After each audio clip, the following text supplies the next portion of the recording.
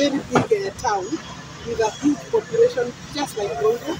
So we will need more than 1,000 units. So we still have space for other people, but I'm glad that they have taken the lead.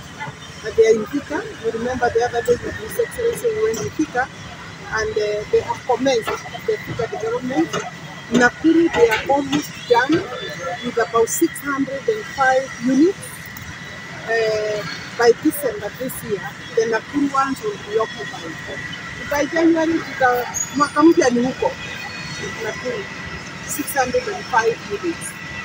I like the space because as you can see, all these areas will be uh, green, maybe a few flowers here and there, play area for the kids, the kindergarten inside, and those kind of facilities.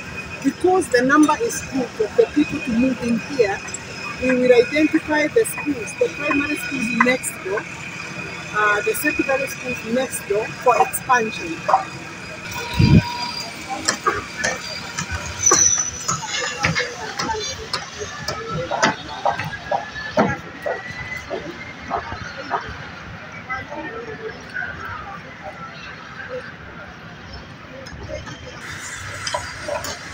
1,200, uh, going to 1,300 uh, daily workers that are earning. So they are not only earning, some are skilled because they have skills, others don't have quite good skills.